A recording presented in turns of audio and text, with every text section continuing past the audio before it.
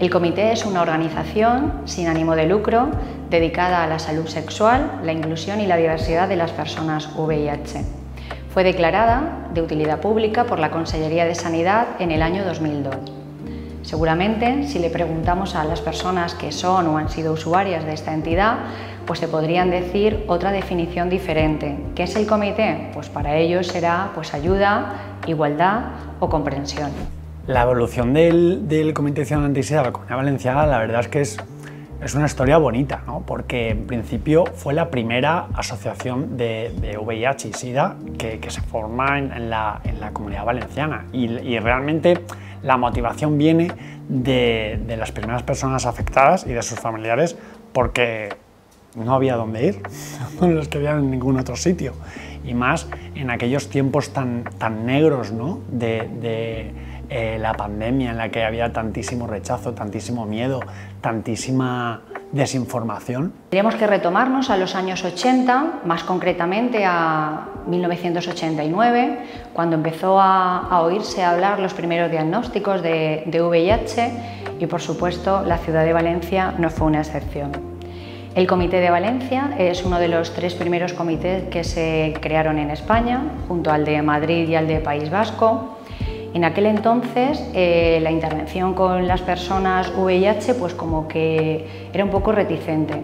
Entonces eh, las mismas personas afectadas tuvieron que buscar un espacio seguro en el que reunirse, en el que organizarse y en el que ayudarse, porque fundamentalmente eh, nadie les ayudaba, no había una relación de ayuda como entendemos ahora en la comunidad. Personas usuarias de drogas por vía parenteral, con un nivel cultural medio alto, que lo que hacían era informar de manera voluntaria a las personas que se acercaban a, ellos.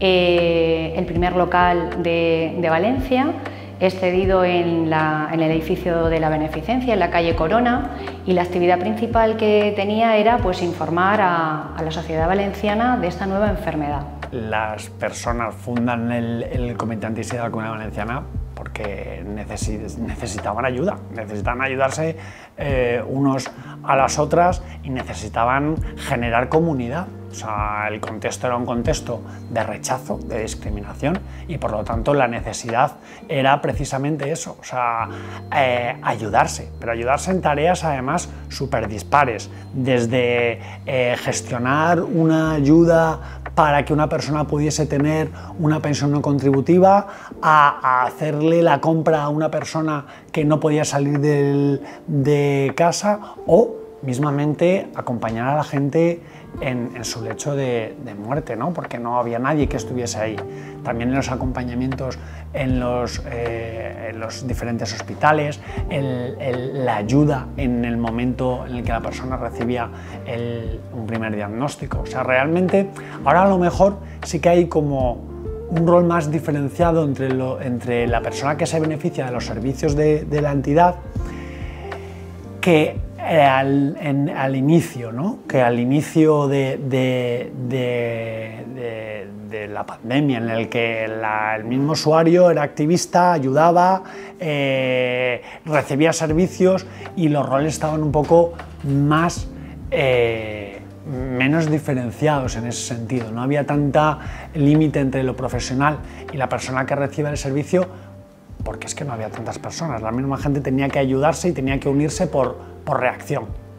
Y luego poco a poco, gracias a esas mismas personas, porque no nos tenemos que olvidar que evidentemente ahora el comité es una entidad que se ha profesionalizado mucho, que tiene diferentes programas, que tiene diferentes servicios, pero eso es el resultado del esfuerzo, de la dedicación y de la implicación de las mismas personas que fundaron la entidad y de la gente que empezó a, a participar. Aquí han salido grandes activistas pues, como Ramón Espacio, como Carlos, el actual presidente de Casicova, gente que ha participado en el comité y que bueno, han echado, que gracias a las horas y al tiempo que le dedicaron, han permitido poco a poco adaptarnos a las diferentes necesidades y a los diferentes contextos, porque obviamente no es lo mismo, no era lo mismo en el 89 cuando se funda la entidad, como primera entidad de la Comunidad Valenciana, siguiendo el modelo de, de algunas entidades catalanas que fueron las primeras, a los 90, a la época post-Targa, a los 2000 y, a, y, al paradigma actual ¿no? del, detectable igual en transmisible.